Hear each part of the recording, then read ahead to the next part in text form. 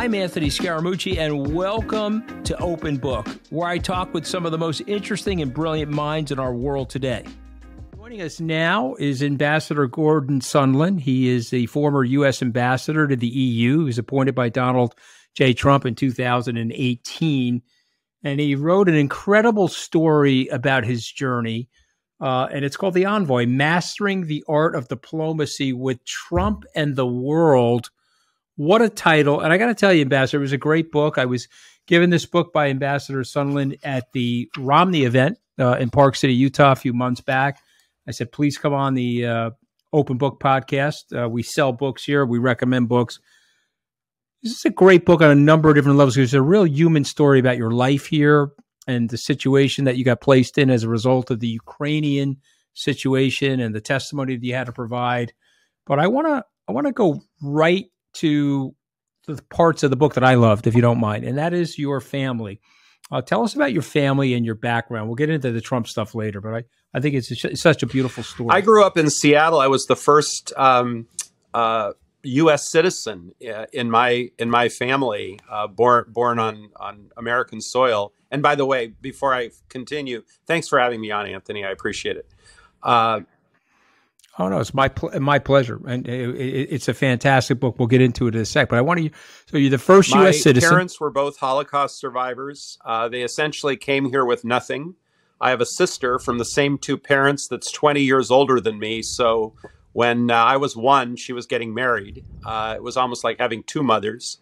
Uh, and I grew up in a very sort of lower, lower middle class, small portion of a very wealthy neighborhood. And it really motivated me because everyone around me was rich. All the kids drove new cars when they turned 16. Their families went to Hawaii and Europe and elsewhere on vacation. And mine couldn't afford that. And it really motivated me and made me envious. And envy is an incredible driver. Well, yes, but tell us how you got started. Okay, you built a beautiful, amazingly successful business. You in the lodging, hospitality business, among other things that you did. So, give us the transition. You come out of college. Well, I dropped out job? of college. I did about a year and a half, two years in college. Uh, I was bored and I was restless and I wanted to make money. I was singularly focused on that. So I started in the commercial real estate business and I started selling small apartment buildings. Uh, I kind of sucked at it for about a year and then I finally decided to shoot for the moon instead of at the time, you know, an apartment building was small apartment building in Seattle was, you know, three, four, five, six hundred thousand dollars. Uh, I decided to sell a full city block in downtown Seattle for at the time was $15 million. And this was in 1979. So that was a lot of money. And, you know, I almost ran out of money while I was trying to do it. But lo and behold, after about 10 months, I closed the deal. I made a little over a quarter of a million dollars uh, again in 1979, which was my first commission. My bank account was almost at zero. So walking in and depositing that $250,000 check was sort of an uplifting experience. All right, so now we're moving along. You got yourself involved in Republican Party politics. What attracted you to Donald Trump? I'm, and I'm going to tell people how you and I first met, which I think is an interesting part of the story. But what attracted you to well, Donald as I say Trump? in the envoy, I didn't know Trump uh, other than a sort of fateful meeting with him in 1988 at the uh, De- Republican convention in New Orleans when George H.W. Bush gave his famous uh, Peggy right. Noonan penned Thousand Points of Light speech. And as I say, I ran into him yep. in the elevator lobby. He was a total dick. Uh, I was asking him about uh, uh, an issue he had confronted in his business that we were facing as well, that was very well publicized. I wasn't bothering him, no one was around. And he was very dismissive of me because he didn't know who I was, he'd never heard of me, I was young, et cetera, et cetera. The next day, I'm sitting in the bar with two other people whom he knew quite well. And he came over and he said, You know, tell me more about the hotel thing. And he couldn't have been nicer. And when I reminded him of that in 2016, right. I said, You were a real dick, but then the next day you were nice. Why, why, is that? He said, Well, of course I was nice the second day because you were with very important people. Right. Well, I mean, the transparency is weirdly refreshing. It's almost It like is. so transparent that? that? you you know you almost have to like yeah right right no because he's the dick of dicks and so that's why it's so interesting and that you know that's that's why I wanted to bring it up but but we met and I'm going to tell you where we met see if you test your memory we happened I had the good fortune of sitting next to you at what was my first fundraiser and so what I did was I traveled with Mr. Trump to New Mexico and then we boarded his plane to LA and we went to was it Tom's house? I think it was Tom Exactly. Barrack's house. Uh, we went to Tom Barrack's house. There was a tent outside.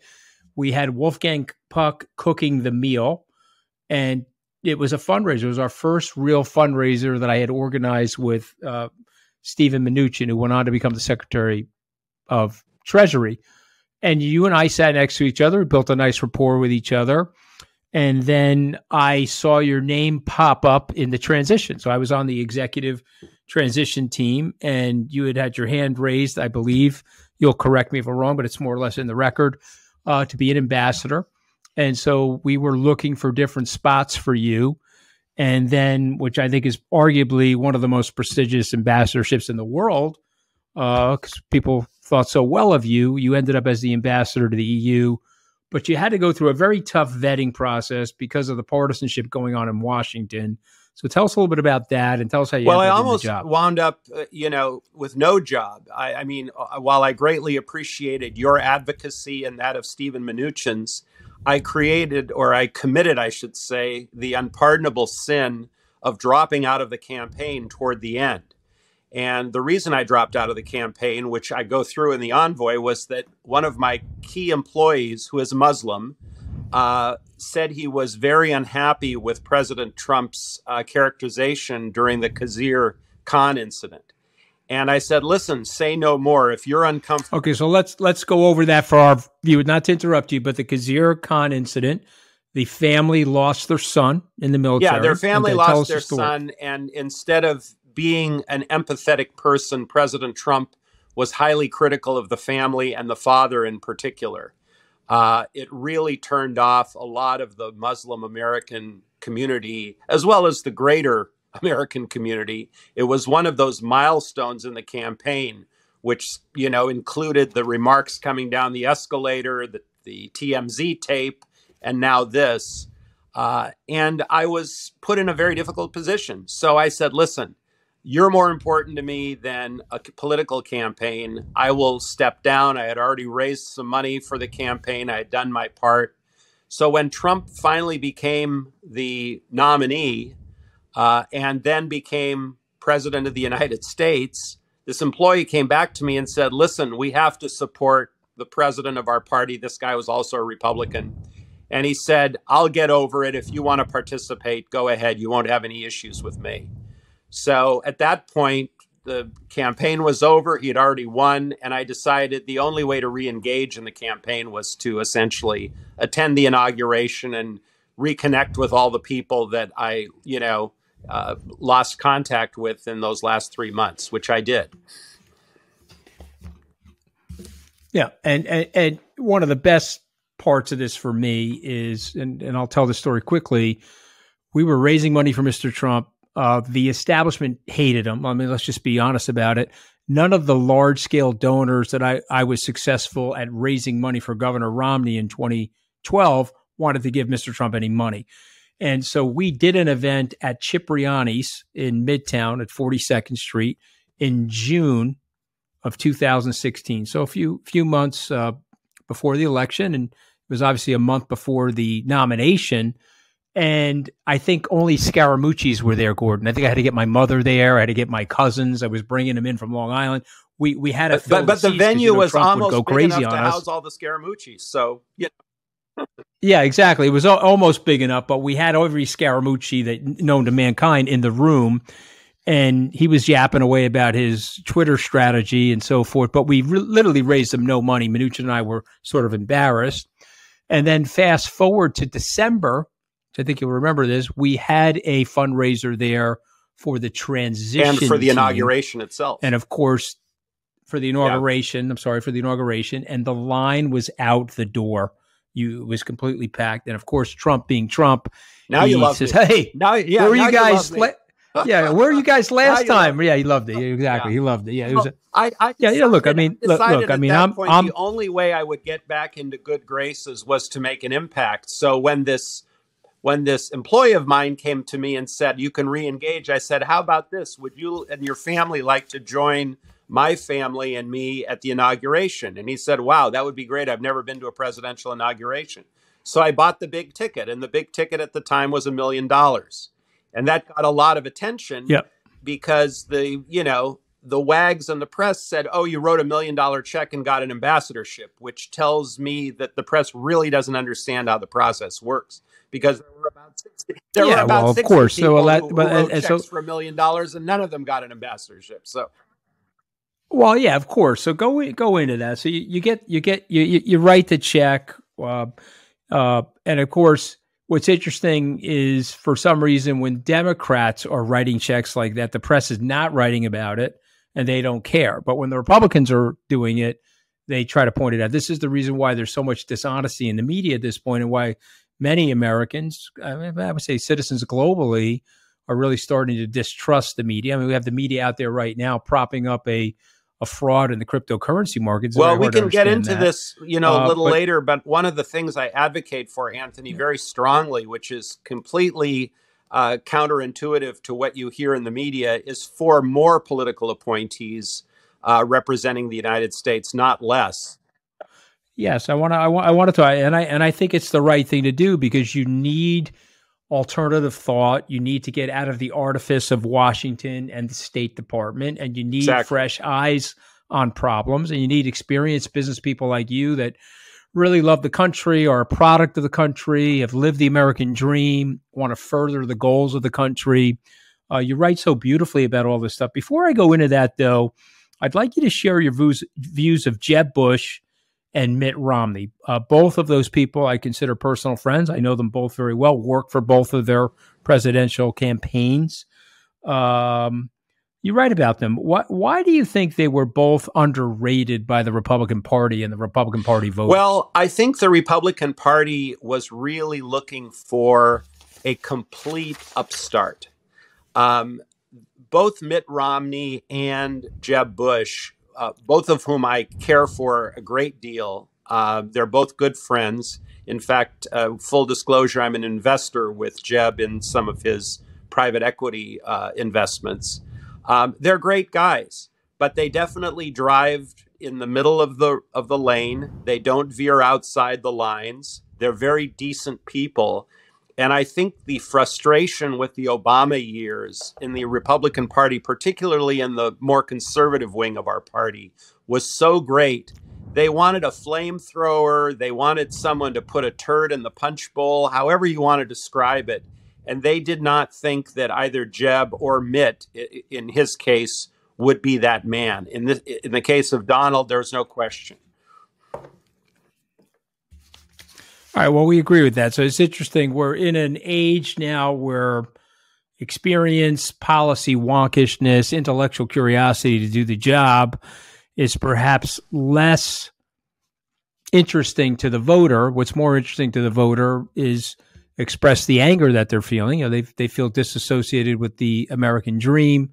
Many people feel disaffected from the establishment, and so Mr. Trump, I think we would both agree, uh, represented that, and and he represented that in a very strong and powerful way, upsetting at times to people like your employee.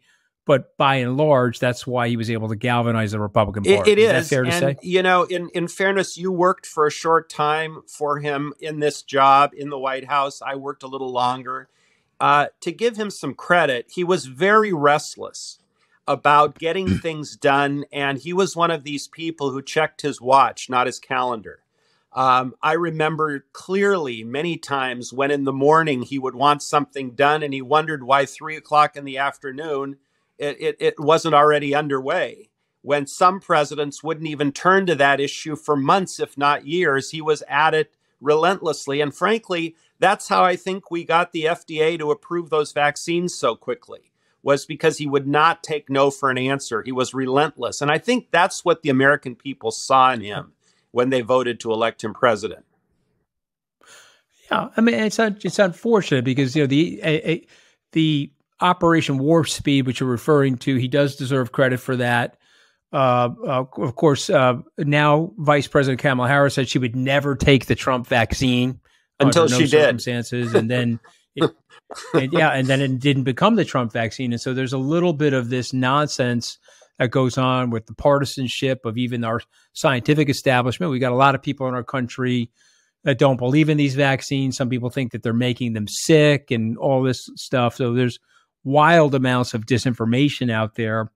Uh, but let's go to you because I think you had one of the more interesting jobs. You write about this in the book. You had the uh, you're the ambassador to the EU. You're in Brussels, but you're also the ambassador to NATO. Is there? the ambassador to Belgium is there. You have three U.S. ambassadors in one European city. So describe it to us. Describe what your life was like, how you interacted with those ambassadors, how you interacted with NATO, the EU, country well, Belgium. it was a very touchy ambassadorship, as you point out, in that in some cases, those three ambassadors, it would be hard to find a room big enough to contain the three egos that each ambassador had, and who's you know who's the alpha in the in the relationship in my case, I was very fortunate. I, my colleagues included Senator Kay Bailey Hutchison, who is the ambassador to NATO, and mm-hmm. uh, my friend Ron Gidwitz, mm-hmm. uh, who is the ambassador to Belgium.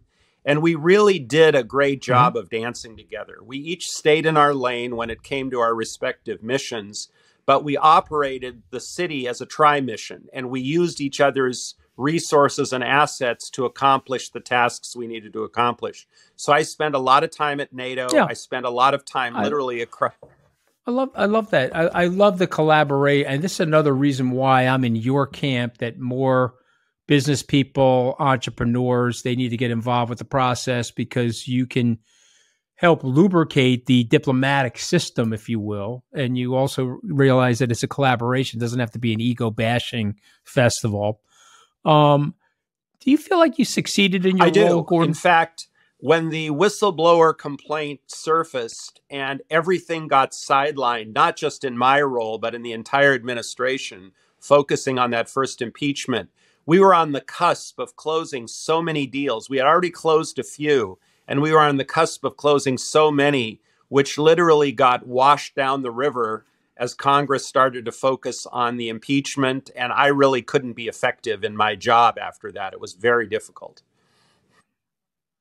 Right. Well, you're a man. You you you did a great job. You testified honestly, and when you felt like you couldn't do the job because of all the different circumstances, you bowed out gracefully. Unfortunately, that happens in politics. You know, I got fired after 11 days. I said something really stupid, which was regrettable uh, but I owned it. I mean, and I, I didn't blame anybody else but myself. I accepted the firing, and I think you know because you've seen me with General Kelly. We're very close friends today. Uh, no harm, no foul. That's the nature of politics. I think you're a total gentleman. You come across as a total gentleman in the book, which I admire. I want to talk about President Zelensky for a second because you had the opportunity to build a relationship with him, uh, and you hosted him in 2019. Tell us your opinion of President Zelensky. Tell us why you were hoping for closer U.S. Ukraine cooperation, and maybe you can give us some of your insight into the current debacle that's taking place between the Russians and well, the Ukrainians. President Zelensky was, uh, you know, an unconventional uh, candidate and successful candidate. He was very much like a Ronald Reagan, where people criticized his show business background. What business does this guy have running Ukraine? He's an actor. And I think we've seen with 2020 hindsight that not only is the guy smart and tough, but he's a baller. I mean, he really is. Uh, most people in his position would have had a Swiss bank account and would have been on a, you know, on a global express hightailing out of Ukraine the minute the bullets started flying. And he's there in a flak jacket while missiles are flying over his head. Um, n- there's no question the Russians wanted to take. Did you? Are you surprised by that? Well, some of the people in the conventional press were, but after you meeting him and getting to know well, him, were you surprised all, by that? It's it, it's a it's a difficult question because when we met him, we knew right away that he and the president, President Trump, would get along really well, and we were just trying to get the two of them together in the same room to shoot the shit, nothing more. No asks, no gives just get to know one another because we thought once Trump met Zelensky, good things would happen for Ukraine. And of course, Giuliani pokes his nose in the middle of this and ruined that entire strategy. And both Secretary Perry and uh, uh, Secretary, pardon me, Ambassador Volker were frustrated by that. But no, to get back to Zelensky, we thought he was smart, we thought he was tough, but until the bullets started flying, no one even knew what kind of toughness the guy had.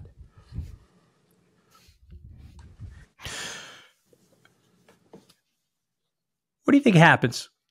We've got a war that's gone on almost 10 months now. Uh, it's dragging on. We're going into the winter. You know the area well. You know the geography. You've read our intelligence briefings.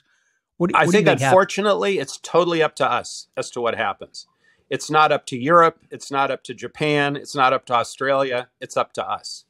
We can put our foot further down on the gas and end this war quickly, or we can continue to pretend that we don't want it escalated, that the Russians are giving us some sort of deference because we haven't gone further in.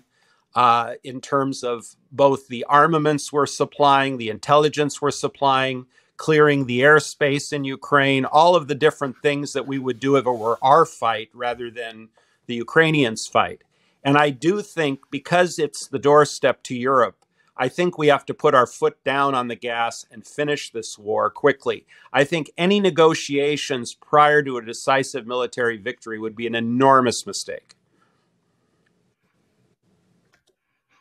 Okay, and so you believe that the Ukrainians can beat only with our help. The Russians. Only with our help. Right. But we, are, we, we are, are, helping, them, them. So I mean, so helping them judiciously and tentatively, and we're we're we're trying to right. walk this tightrope, which I think created this sort of um, face-saving pretext for the Russians. Right. I think the Russian economy is in shambles. I think that Putin is on the ropes. I think if there is ever a time to finish this, it's now. Okay, so how would you finish it? Give me the policy prescription to finish I think it. the way I would, would finish it and and you know, you can have multiple military experts on your show that can give you chapter and verse better than I. But the lethality of the weapons that we provide the Ukrainians, uh, the intelligence we provide them, and the fact that we need to own the airspace over Ukraine, which may in fact cause us to have to get into a direct shooting war with Russian MiGs I don't think we have a choice. I think if this drags out, uh, you're going to wind up in a sloppily negotiated settlement, which will reward the Russians for their behavior and only strengthen Putin's hand inside of Russia. I think Putin needs to be punched hard in the nose. And I think our allies need to be brought along with us, even if it means leveraging some of our trade uh, levers that we have to insist that they join us in this effort. We don't have a choice. Putin started it. We have to end it. All right, I, you know, so I think it's I think it's well said, and I appreciate it. I want to go back to the impeachment hearings. Uh, uh, the, uh, most of the Americans uh, that are watching this podcast, even some of the Europeans that watch my podcast, will remember you uh, from your thoughtful testimony. You agreed to cooperate uh, but you also had some opinions related to the quote unquote Trump famous conversation. Tell us about that. Tell us why you agreed to cooperate. Tell us, you know, your thoughts about your testimony. Uh, give us a sense for well, just a little book. correction, Anthony. I didn't really agree to cooperate. They asked me to come voluntarily to testify. I, of course, turned to my employer, who was the State Department at the time, and said, What do you want me to do? I work for you. They said, Don't go. So we turned back to the committee and said, We're not coming. And they immediately followed the polite request up with a subpoena. At that point, we thought the White House was going to run cover and say, We're not letting you go until the Supreme Court tells you you have to go. So stand down. And they wouldn't do anything of the kind. They basically said, You're on your own. So I had no choice. My, my attorneys told me I had to honor the subpoena. Otherwise, I would be liable for being in contempt of Congress. I wasn't going to do that. I wasn't going to spend the money to fight it on my own. So I came and testified uh, because I was compelled. I was probably, Anthony, the only witness that didn't have an agenda there. A lot of those witnesses really wanted to take the opportunity to undermine the administration because they were disgruntled. I just wanted to get back to Brussels and go back to work. I wasn't there to to hurt Trump. I wasn't there to help Trump. I just wanted to tell what I knew under oath, the truth as I could best recall it, and then move on. And the others that testified before and after me clearly didn't have that agenda at all. Why did you think that the conversation wasn't that big of a deal, or let's describe it as a red herring? Because I didn't think it was an impeachable offense. Yeah. And again, just for viewers and listeners, this is the conversation between Trump and Zelensky uh, that the whistleblower yeah. called. Uh, when you parse the words and listen and read the transcript of the call, which again, with 2020 hindsight, I didn't see that until the hearings had already begun because no one produced that readout and no one told any of us, including Ambassador Volker and Secretary Perry, what had actually gone on on the call. It would have informed a lot of other things that we said and did afterwards had we had we seen what President Trump was trying to express to President Zelensky. But when I read the transcript, there was nothing there that I thought was impeachable. Did I think it was properly phrased? Did I think he should have used that conversation to try and get his um, you know, the leader of another country to investigate potentially a, a, political opponent. No, there are other ways to do that uh, a little more deftly, and all presidents have done it to one degree or another. Obama's done it, Biden has done it, everyone's done it. Uh, I thought it was a little too blatant. And frankly, once it was exposed to the public, Anthony, I thought the pl- proper place to handle all of that was the ballot box. You don't like what he said, don't vote for him again. But an impeachment was ridiculous. I mean, listen, you make it you make a good case. I again, you know I dislike President Trump. Him and I have gotten into a row. There was no reason for him to go after my wife on Twitter. Obviously, there's something psychologically damaged about the guy, in my opinion. Uh, and I appreciate your point of view. And I didn't totally understand the first impeachment either. So we can debate whether it was the right thing to do or not. Uh, but I do appreciate your point of view, and that's why I, I, wanted to bring you on my podcast. I want to switch a little bit to talk about uh, Rudolph Giuliani, Mayor, Mayor Rudy Giuliani. I had uh, the political reporter Andrew Kirtzman on, who just wrote a biography of, of Rudy this year. And uh, he said in the biography, which I thought was interesting, he said Rudy created the template for the Trump presidency in terms of some of the bombast and some of the drama and the closeness of the two of them. They sort of like worked off of each other and feeded off of each other. Uh, I want to get your opinion on that. Do you think that that's true? Uh, you you write in the book, obviously, you believe that Mr. Giuliani, Mayor Giuliani, hurt the process. So so tell us your thoughts on. I think that biographer this. had it backwards. I think you know Trump created the template for the Rudy Giuliani post mayoral life, not the other way around. Um, I I, I okay. think Trump. Well, tell I us tell Trump us why used Rudy Giuliani as sort of a fungible tool. Uh, Volker, Perry, and I come back from Kiev. We're all excited. We had spent, you know, a day and a half with Zelensky. We said, you know, Trump's got to meet this guy. He'll really like him. And we go into the Oval Office and we sit down, all excited. And Trump wants to hear none of it. He goes, I don't want to talk about Ukraine. I got other things to deal with. You want to deal with Ukraine? Talk to Rudy. And we're looking at each other, and one of us, it might have been me, it might have been Perry, said, Rudy, what the hell does Rudy have to do with Ukraine? And he said, Well, Rudy's been involved. He's spent a lot of time there. He knows what's going on. I trust Rudy. You talk to Rudy. And, you know, he said, Wait a minute. He's not with the State Department. He's not with the U.S. government. We're trying to get you and a foreign leader together. What the hell does Rudy Giuliani have with, to do with all of that? And Rudy Giuliani was basically, right. Uh, you know, at the time, sort of Trump's dustbin. If you if he didn't want to deal with something, rather than throw it in the garbage, he would give it to Rudy to deal with. And then once Rudy was off and running, you never know whether Rudy was making the policy or Trump was making the policy. And so a lot of what Rudy said to the members of my team, to, to Volker and to Perry, we never really knew whether those things were coming from Rudy or whether they were coming from Trump. Right. Well, I mean, and that's another thing about Mr. Trump, the president. He was an outsider. He liked Rudy's outsiderness. He had a distrust for establishment players and people in the State Department. Uh, it was Priebus. Uh, you know, uh, you know, I was in the meetings. R- Rudy put his hand up to be the Secretary of State, and Trump was very interested in making him the Secretary of State, which would have been a colossal disaster. And so I know that there were players that were undermining that for Rudy. You know, they do it rather. I, I, could never figure this out. You know, all Reince Priebus had to do was go to Rudy and Trump and say, "Hey, you'd be a disaster." And we can't do that, but he would act like he was Richie Cunningham, and then he would stab him in the back in the New York Times. It was like sort of nonsensical stuff. It's probably why we don't hear much about Reince Priebus anymore because of the way he disgraced himself. But but let's go let's go to Trump behind closed doors. You're right about that. He's a complicated person. And we both know he's an attention seeker.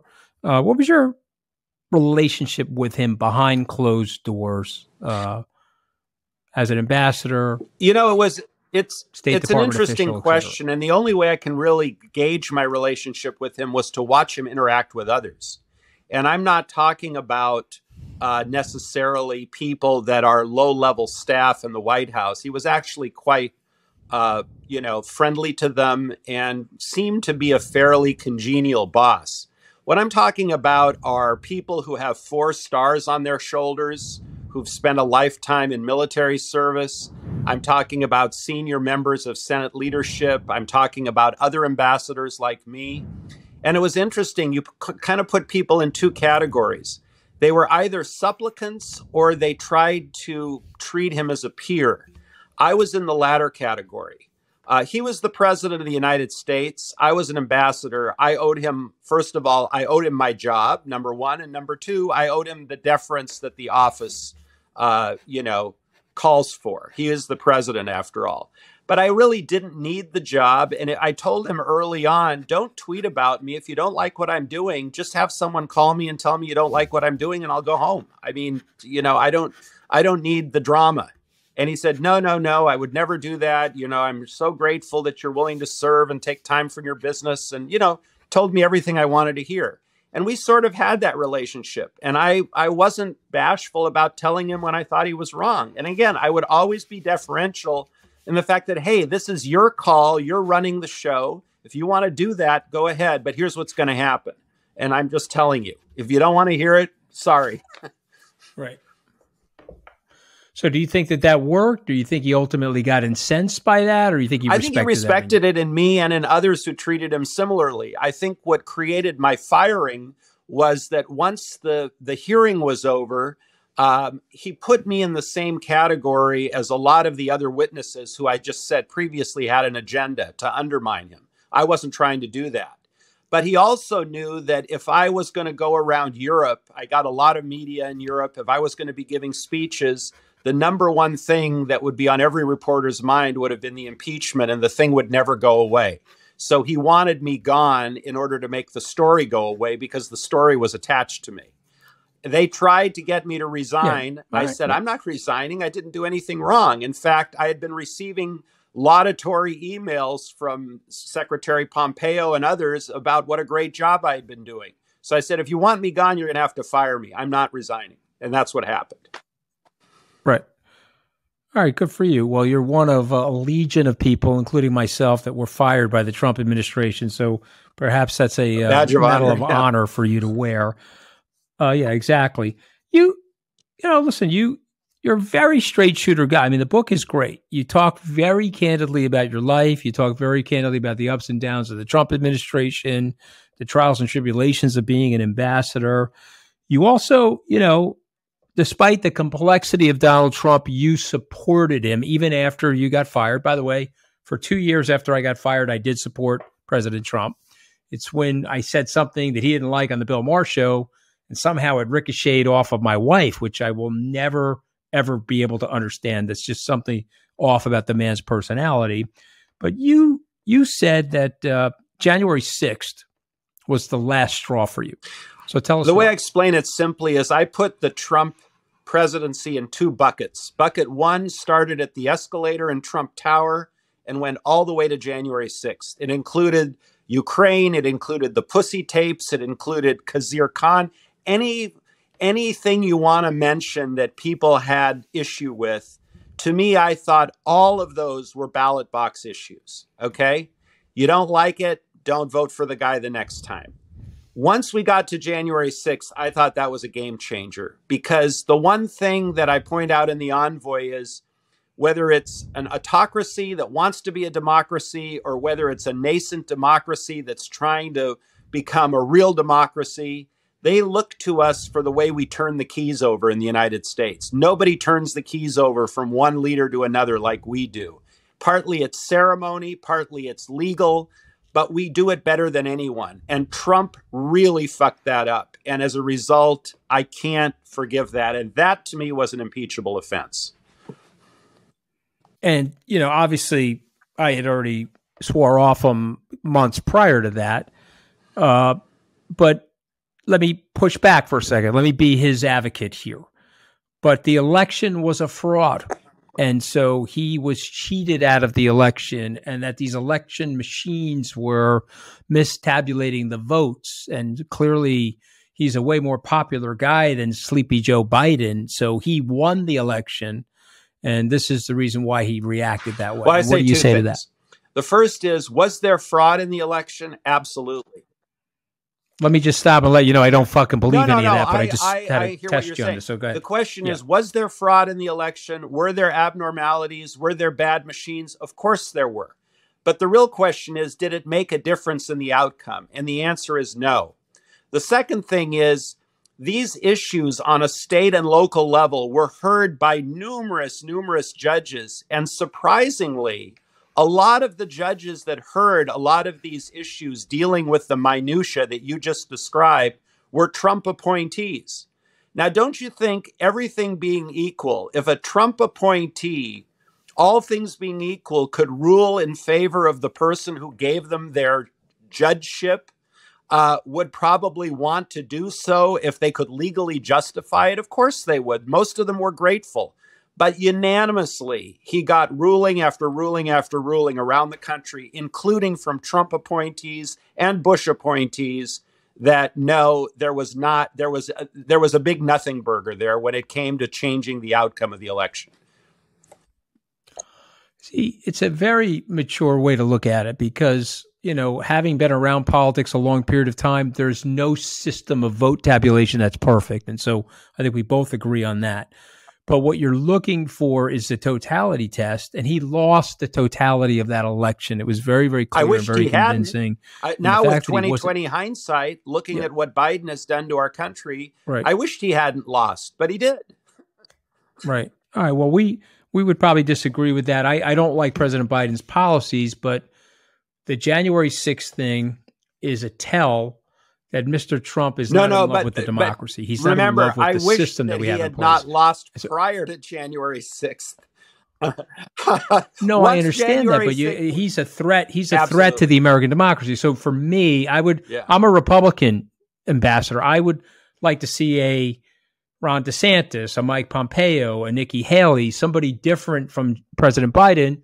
But I voted for President Biden because I saw the risk that Mr. Trump was to the American democracy. Prior to January 6th, if you asked me, is Mr. Trump a threat to the American democracy? I would have said yes. And I'm glad he didn't win because I do think he represents that threat. Those other people, Nikki Haley, men and women, Mike Pompeo, Ron DeSantis, I don't think they represent that. And I just think they're better messengers for the Republican Party and for the movement of those what I values think, and what ideas. I think, That's what I think opinion. we have to do is we have to convince some of the more diehard supporters of President Trump that the policies are what they should be focused on. And three of the candidates of the ostensible candidates, Pompeo, Haley, and Pence, uh, Mhm. basically moved those policies forward. So I think, as you say, there are better people to take the Trump policies in 2024 and move them forward. Here's another thing I think we're missing. In 2024, if Trump were fortunate to actually be elected president again, I'm really afraid that he would not be able to govern for four years and that those policies would languish Right. and suffer as a result because he would be so tied up Yeah, in no, would- investigations There's too much, litigation too much and hate. so I on. agree And with if you, what we want is we want to turn the country back around, we need someone who can execute. I don't think Trump can execute at this point. I only got a few more questions left for you, Ambassador. You're such a great guest. But at the end of your book, you say China, Russia, and Iran present the biggest threats to global peace and prosperity in that order. It's literally, I, I took it right out of your book. Uh, what does the U.S. and the EU need to do to well, limit these threats? What we need to do, first of all, is to identify things vis a vis China that we have no daylight between us. Because the one thing that scares the shit out of China is when they see the US and the EU acting in concert without any daylight on an issue. Because they know together we're unstoppable from an economic standpoint, from a military standpoint, and frankly, from a political standpoint. And they love to exploit daylight. We can't have daylight.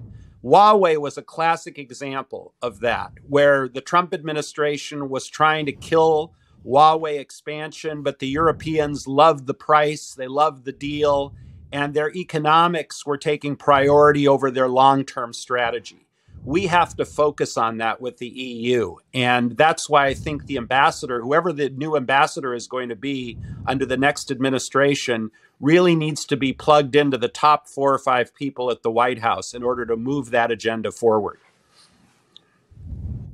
We've just talked about Donald Trump. Uh, I think we're both in general agreement that I'll, I'll say it, you agree or disagree we wouldn't support him to be the nominee in 2024 for the I agree. I agree. Yes I would not support Fair him. to say? Oh, okay.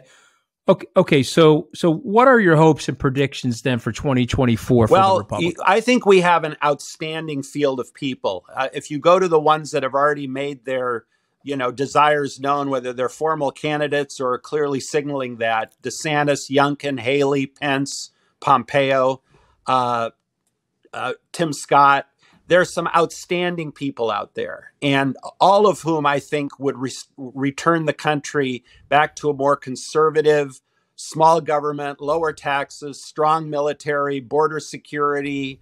You know, you can go down the list. Any one of those candidates would be great.